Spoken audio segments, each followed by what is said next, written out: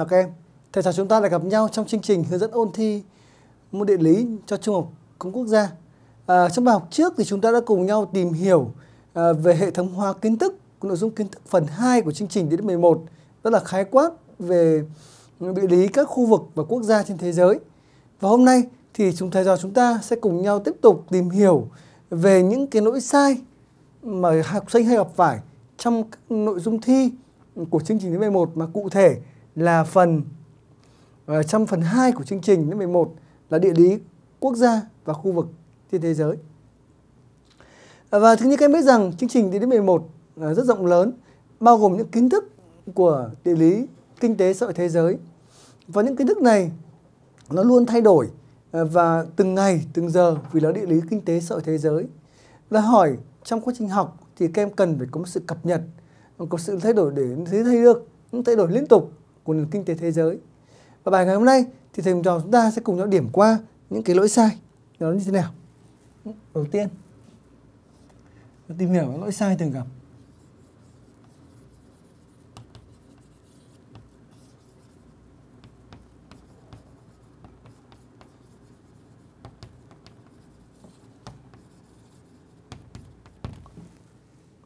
của học sinh Và những lỗi sai này thì thầy đã cập nhật uh, trên cái hệ thống những cái bài tự luyện của các em và thống kê lại những cái lỗi sai gặp phải. Thông thường cái lỗi sai các em gặp phải đầu tiên là các em hay sai về các cái dạng bài kỹ năng. Các cái dạng bài về kỹ năng. Dạng bài về kỹ năng. Và kỹ năng địa lý thì rất là đa dạng và các dạng bài kỹ năng này là dạng bài rất cơ bản, hay gặp trong đề thi và cũng là một cái mức bài mà các em hay sai.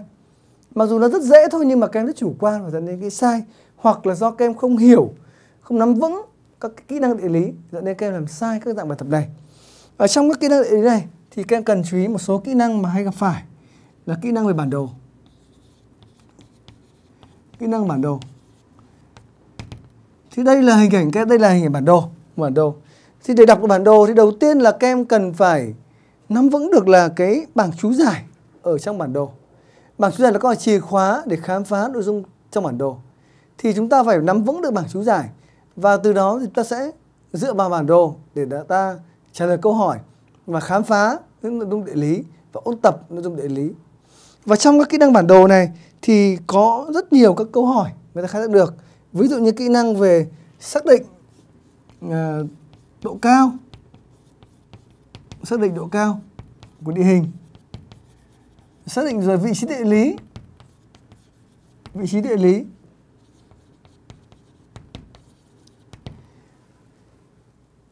Rồi xác định sự phân bố. Các đối tượng địa lý. Sự phân bố. Các đối tượng địa lý. Các đối tượng địa lý. Các đối tượng này có thể là nông nghiệp và công nghiệp. Các đối tượng là đối tượng tự nhiên. Đấy, và từ đó chúng ta sẽ xác định được đối tượng này và có phương pháp để ta làm bài sẽ hiệu quả. Và đối với cái dạng bài này thì thông thường là người ta sẽ cho chúng ta một cái bản đồ và người ta yêu cầu chúng ta là xác định nội dung liên quan bản đồ. À, ví dụ một câu hỏi minh họa thế này. Ở trên đây cho các em một cái bản đồ về địa lý tự nhiên của Hoa Kỳ. Và câu hỏi yêu cầu là dựa vào cái độ bản đồ quan sát bản đồ và câu hỏi là dựa bản đồ, thì trả lời câu hỏi là vùng phía tây Hoa Kỳ bao gồm A. Các dãy núi trẻ cao trung bình trên 2.000 mét, xen giữa là các bồn địa và cao nguyên B. Là khu vực gò đồi thấp và các đồng bằng các đồng cỏ rộng C. Đồng bằng phù sa, màu mỡ hệ thống sông Mississippi à, bồi đắp và vùng gò đồi thấp. D. Các đồng bằng phù sa, ven đại Tây Dương và các dãy núi già Appalach.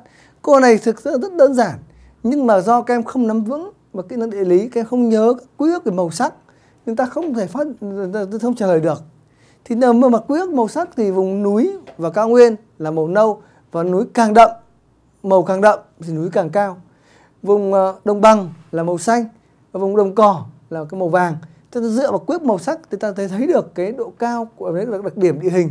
Địa hình. Và dựa vào màu sắc và độ cao của địa hình. Như vậy thì chúng ta thể biết được ngay là vùng phía tây là đáp án nào. Thì ta nếu mà biết được cái độ cực quyết của màu sắc đó thì ta trả lời đúng đáp án A ở đây chính là đáp án A. Là, đối với câu hỏi này.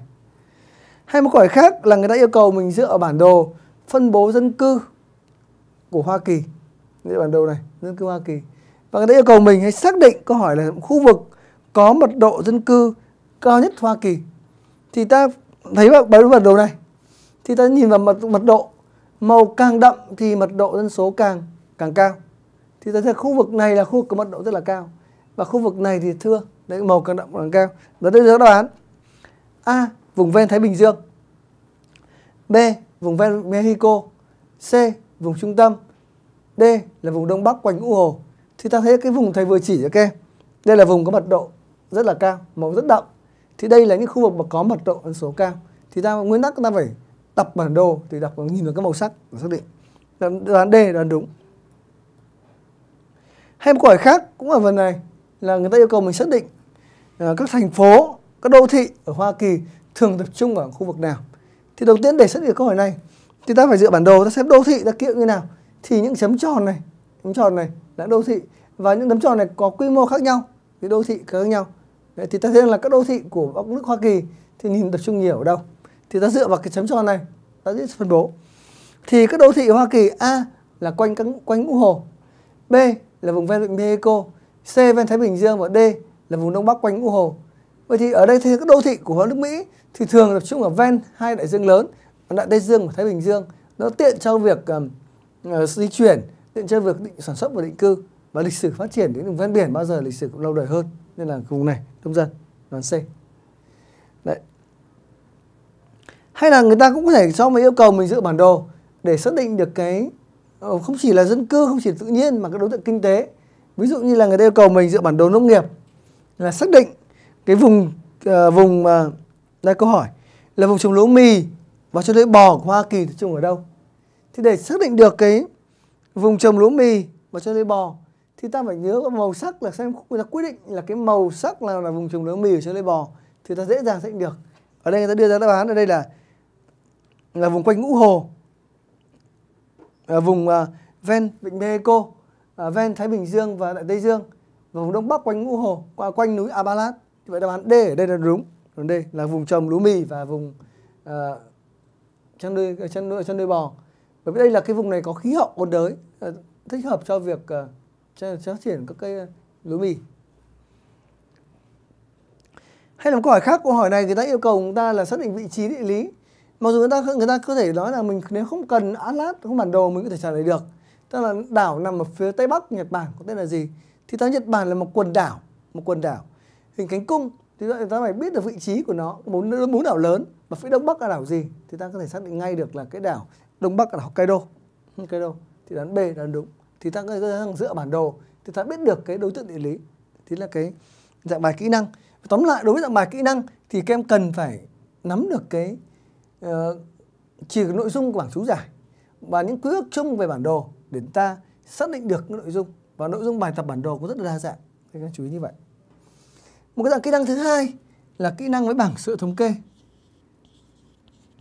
Bảng số liệu thống kê. Kỹ năng này các em cũng hay gặp phải cái lỗi sai. Là do các em không biết cách phân tích.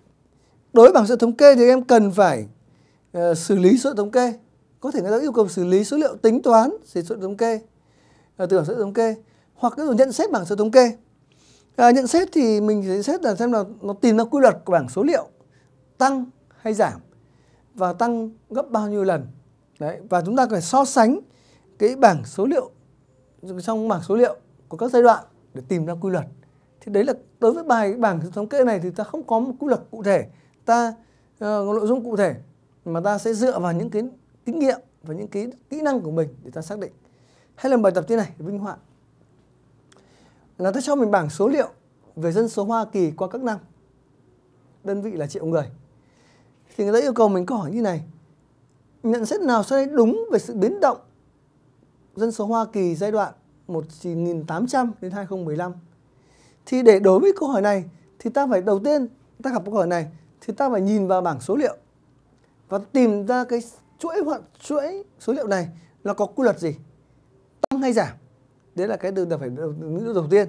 Thì đối với bảng số liệu này, ta thấy rằng cái chuỗi số liệu này nó tăng liên tục. Như vậy ta sẽ tìm xem đáp án là như thế nào.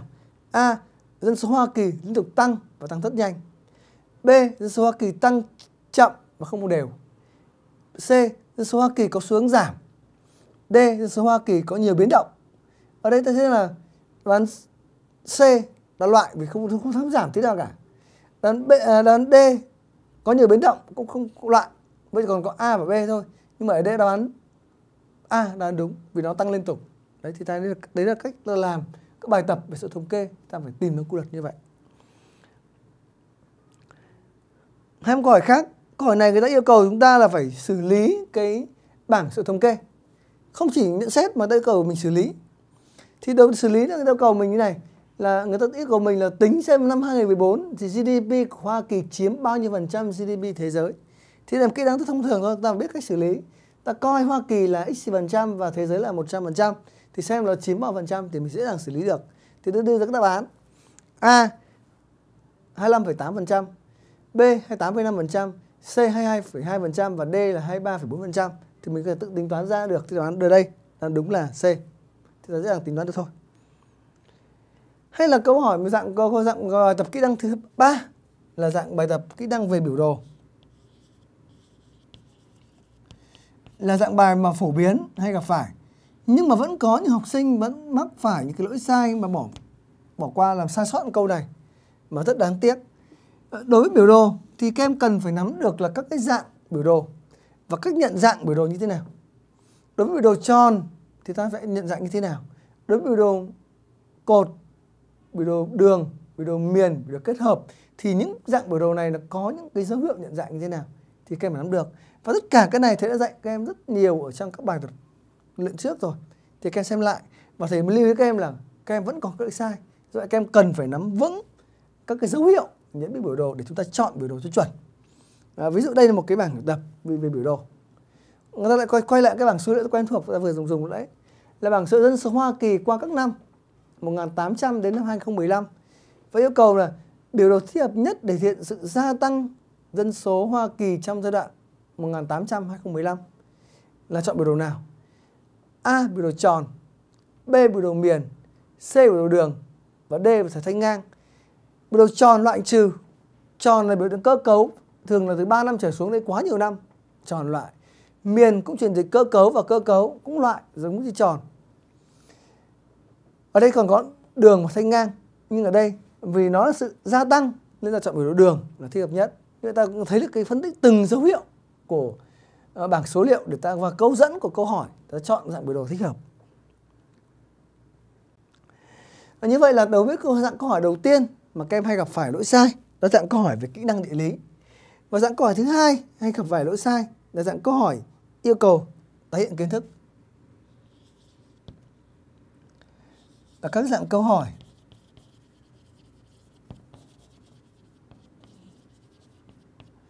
Yêu cầu tái hiện kiến thức.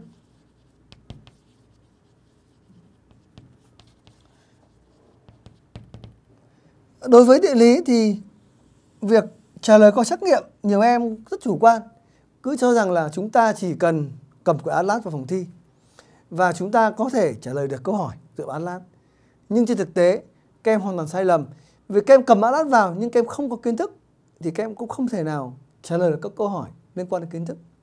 Mà điều đầu chốt đây để trả lời được các câu hỏi liên quan kiến thức thì các em phải học, bắt buộc phải học. Và các em phải hệ thống lại kiến thức một cách hệ thống bài bản chúng ta dễ nhớ dễ học thứ hai là chúng ta phải vận dụng kiến thức đó để trả lời những câu hỏi và thông thường các kiến thức này thì mình đã đưa theo theo các bốn cái mức độ câu hỏi là nhận biết, thông hiểu, vận dụng, vận dụng để ta trả lời. Và chúng ta phải có những cái kiến thức cơ bản nhất để chúng ta trả lời câu hỏi, câu hỏi. Mà ta phải học thôi, không cách nào khác. Phần ở đây cho em phần lớn các em sai là do các em không chịu học. Các không học kiến thức. Dẫn đến là các em đánh bừa, đánh bừa dẫn đến là cái kiểu sai. Hay là và một cái điều nữa đối với cả kiến thức này thì người ta còn ngoài việc cung cấp kiến thức ra thì trong đề thi người ta còn có câu hỏi yêu cầu chúng ta phải vận dụng những cái, cái hiểu biết thực tế để trả lời câu hỏi thế do vậy chúng trong quá trình ôn luyện thì các em cũng cần phải thường xuyên cập nhật những cái kiến thức thực tế để chúng ta vận dụng và trả lời ở trên đây là một câu hỏi minh họa, ví dụ về những cái câu hỏi yêu cầu chúng ta tiện kiến thức. Là đặc điểm nào số đây không đúng với vị trí địa lý của Liên bang Nga? Thì ta đây ta chú ý là những đặc điểm không đúng về vị trí địa lý.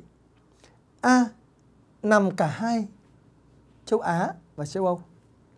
B, đất nước trải dài trên 11 múi giờ. D, giáp với Bắc băng dương và nhiều nước châu Âu. C, có nhiều kiểu khí hậu khác nhau ở đây, ở đây ta thấy rằng là ở các đáp án A, B và C đều liên quan nhiều rất nhiều đến vị trí địa lý về tự nhiên, về kinh tế, về chính trị nhắc đến vị trí địa lý. Nhưng duy đáp án D ở đây là liên quan đến khí hậu đặc điểm tự nhiên. Như vậy ta phải nhớ rằng những câu hỏi là vị trí địa lý. Vậy thì ở đây đáp án D là không đúng. Vậy đáp án D là không đúng. Thì câu hỏi này nó rất đơn giản thôi, nó chỉ đã yêu cầu tái hiện kiến thức của vị trí địa lý Liên bang Nga. Thì ta phải có một nền tảng kiến thức địa, địa lý, vị trí địa lý để ta biết rằng vị trí địa lý thì có vị trí địa tự nhiên vị trí địa lý về kinh tế vị trí về chính trị thì ta biết là xác định được. Và đến dạng câu hỏi ừ, thứ hai là kiến thức. Ngoài ra thì rất nhiều dạng câu hỏi khác ví dụ như yêu cầu của chúng ta là cháu biết là liên minh châu thành lập khi nào hay là uh, Việt Nam gia nhập tổ chức WTO vào thời gian nào thì đã có hỏi để hỏi tái kiến thức. Hay là người ta yêu cầu xác định những biện pháp để Trung Quốc Trung Quốc tiến hành quá trình công nghiệp hóa trong công nghiệp đấy thì chúng ta chú ý những cái giải pháp đó để ta trả lời. Đối với câu hỏi dạng này thì không cách nào khác các em phải học. Và học thì chúng ta có cơ sở kiến thức để ta trả lời. Ta đến dạng câu hỏi thứ ba. Câu thứ ba là các câu hỏi uh, phân tích và đánh giá.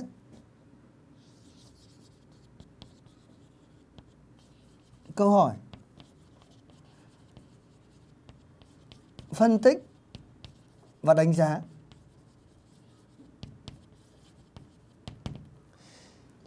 Đây là dạng câu hỏi phải nói là khó. Khó. Một phần lớn câu hỏi này yêu cầu ở mức độ là vận dụng kiến thức để trả lời. Thì đối với dạng câu hỏi này các em thường hay sai do các em không nắm vững kiến thức cơ bản. Và các em à, thường là không nắm vững được các cái quy luật địa lý. À, những cái à, những quy luật này chưa nắm vững thì ta không biết lại đánh giá được những cái đặc điểm đánh giá được câu hỏi nó đo do trong đề thi. Và ngoài ra thì các câu hỏi này nó thường có liên hệ các kiến thức của sự tự nhiên của kinh tế thậm chí cả Việt Nam với nhau. Vì các em không nắm vững kiến thức cơ bản dẫn đến các em trả lời sai. Và điều mấu chốt ở đây để trả lời câu hỏi này thì chúng ta phải cần phải có một cái nền tảng vững về kiến thức và vận dụng vào kiến thức vào, vào trả lời câu hỏi. Ví dụ một câu hỏi như thế này.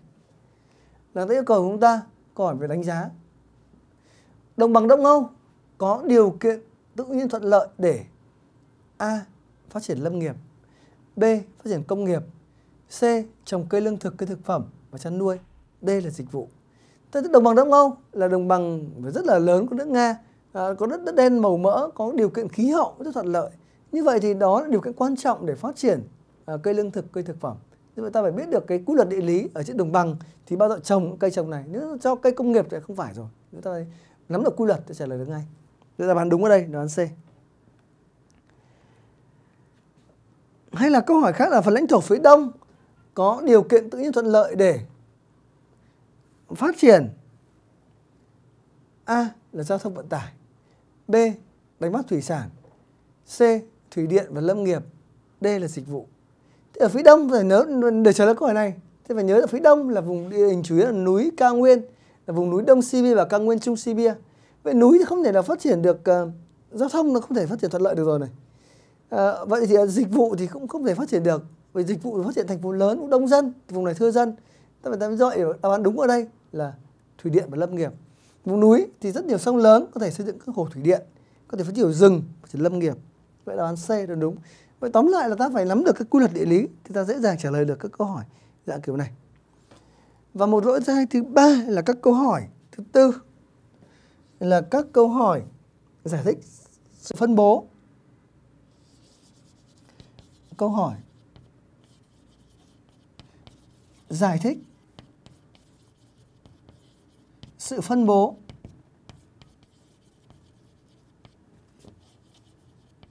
các sự vật hiện tượng địa lý.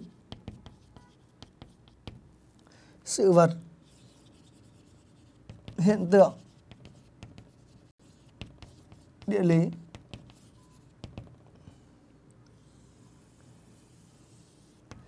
Giải thích sự phân bố các sự vật hiện tượng địa lý. Đối với câu hỏi này cũng là câu hỏi khó đòi hỏi chúng ta cần phải có một cái nắm vững được các quy luật địa lý. Để chúng ta giải thích được phân bố ví dụ người ta có thể hỏi là tại sao uh, miền uh, đông của Trung Quốc đã giàu ngày càng giàu miền tây của Trung Quốc đang nghèo ngày càng nghèo? Thì phải biết và vận dụng quy luật ở đây miền đông là có điều kiện tự nhiên thuận lợi. Dân cư đông đúc lịch sử lâu đời và kinh tế phát triển thì miền đông đã giàu ngày càng giàu còn miền tây điều kiện tự nhiên không thuận lợi dân cư thưa thớt và lại những khó khăn về tự nhiên đã làm cho cái vùng này đã nghèo ngày nghèo đi. Hay là tại sao ở cái vùng uh, quanh các cái nhà các cái ngành công nghiệp về cơ khí luyện kim thì bao giờ cũng gần gắn liền với gần với các cái mỏ than mỏ sắt. Hay là những ngành công nghiệp sản xuất hàng tiêu dùng ngành dệt may thì thường bao giờ phân bố ở thành phố lớn đông dân vì nó cần cái thị trường tự rộng lớn. Tức là phải nắm vững một số cái quy luật và những cái để giải thích số đó hiện tượng địa lý hay ví dụ một câu hỏi minh họa thế này. À, các ngành công truyền thống Hoa Kỳ thường tập trung ở A là vùng phía Tây B là vùng trung tâm C vùng Đông Bắc D là ven vịnh Mexico. Thì các ngành truyền thống vẫn là chủ yếu là các ngành mà cần nhiều nguyên nhiên liệu nguyên nhiên liệu. Thì vùng Đông Bắc là vùng mà có nhiều than và quặng sắt là nguyên liệu để cơ sở để phát triển các ngành công truyền thống. Thì ta dễ dàng ta thấy rằng để giải thích được nó ta nhắm được quy luật tức là nó gắn với sự phân bố nguyên nhiên liệu. Và đã dẫn đáp án C là đúng. Và ngoài ra một câu dạng câu hỏi nữa, các em mà gặp phải, sai, là các dạng câu hỏi liên hệ. Các dạng câu hỏi liên hệ.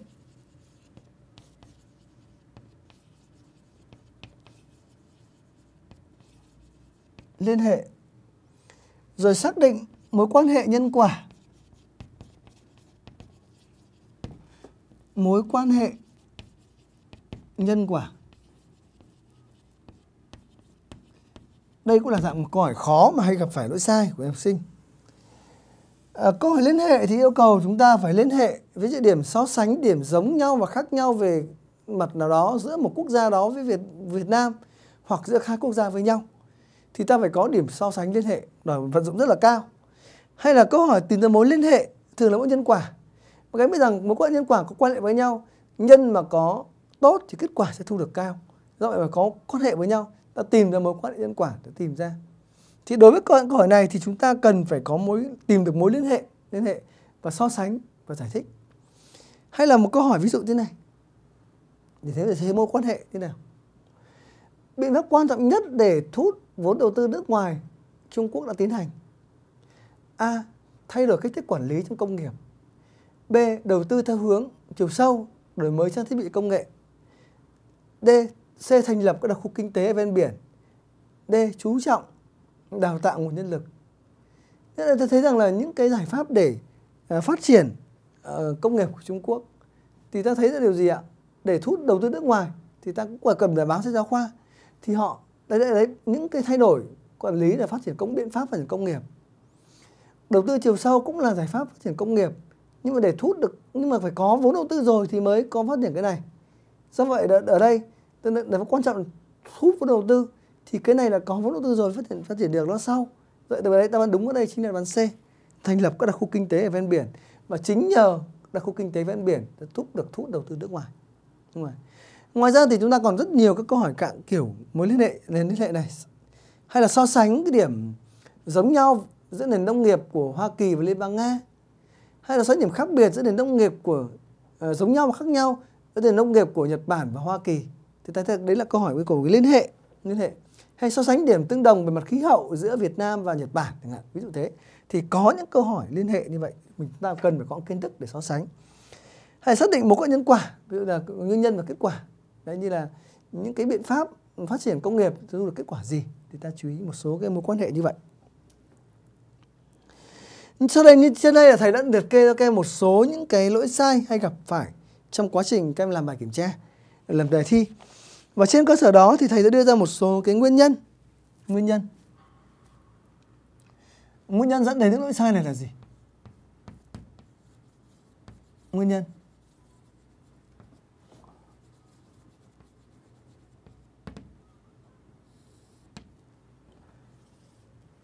Thì chủ yếu các em sai những câu hỏi cái dạng kiểu như này. Thì nguyên nhân đầu tiên mà chúng ta cần phải chú ý đến đó chính là các em chưa biết cách học chia các cách hệ thống hóa kiến thức. Dẫn đến các em không nhớ nổi các em ôm đồm quá nhiều kiến thức. Mà chương trình thi năm nay thì bao gồm cả kiến thức 11 cả kiến thức 12 rất nhiều kiến thức ôm đồm. Nếu chúng ta không có chiến lược học không hệ thống hóa kiến thức với bài bản không tìm những từ khóa dễ nhớ để ta đóng lắng, lắng động kiến thức thì ta sẽ không nhớ được. Do chúng ta cần phải có những cái hệ thống kiến thức. Đó là giải pháp thứ nhất. Nguyên nhân đầu tiên là các em không nắm vững được kiến thức cơ bản dẫn đến các em um, học học nó không được uh, Ờ, dẫn đến là ờ, không học đúng bài học của mình dẫn đến là hoặc không học dẫn đến đánh bừa. Và lỗi sai thứ hai là các em không nắm vững được cái quy luật địa lý. À, là không vì chỉ không nắm vững quy luật địa lý thì ta sẽ không giải quyết được tình bài bài toán này.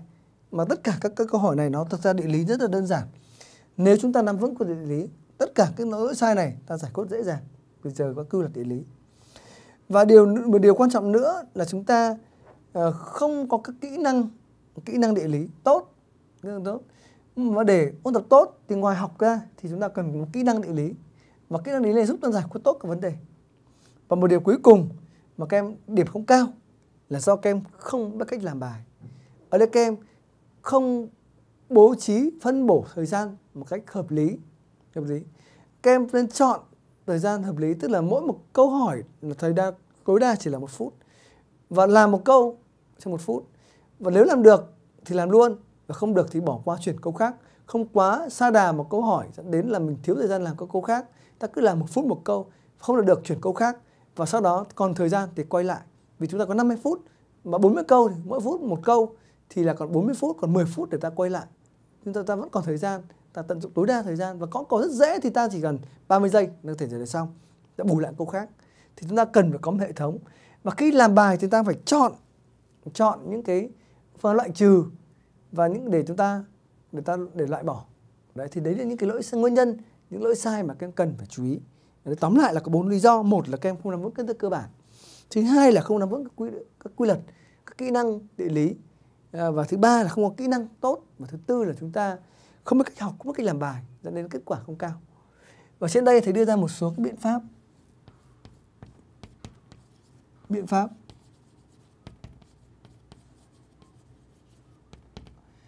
Biện pháp để giải quyết cái vấn đề này để chúng ta đạt kết quả được thì biện pháp đầu tiên là chúng ta không cách nào khác phải học thôi.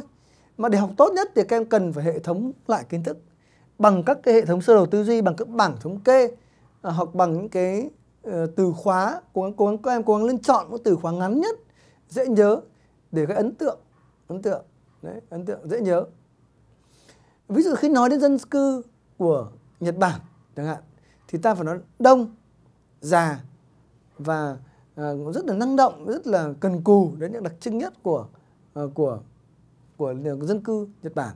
Hay là lên dân cư Liên bang Nga thì phải nói đông nhiều dân tộc dân số già và có sự giảm gia giảm dân số.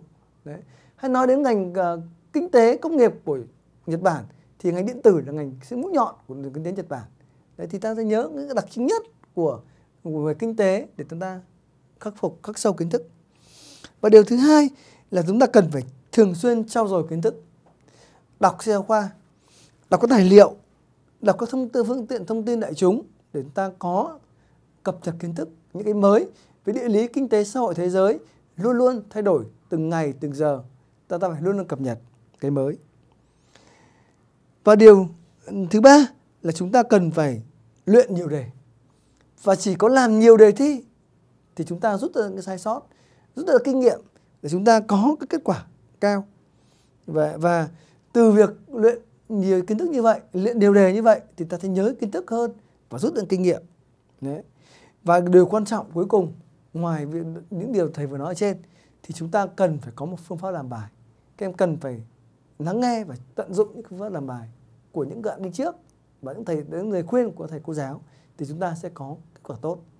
Ở trên đây bài học ngày hôm nay thì thầy đã hệ thống cho các em những cái lỗi sai thường gặp của học sinh trong quá trình học và làm bài thi và những lỗi sai này nó rất hay gặp phải và thầy mong rằng là các em sẽ rút kinh nghiệm từ những lỗi sai này để chúng ta không gặp phải lỗi sai trong lúc làm bài và đề ra một số nguyên nhân và giải pháp để khắc phục lỗi sai. Bài giảng của thầy dừng lại ở đây. À, xin cảm ơn sự chú ý lắng nghe của các em. À, xin chúc các em ôn tập thật tốt để đạt kết quả cao trong kỳ thi sắp tới. À, xin chào các em. Hẹn gặp lại các em trong bài học tiếp theo.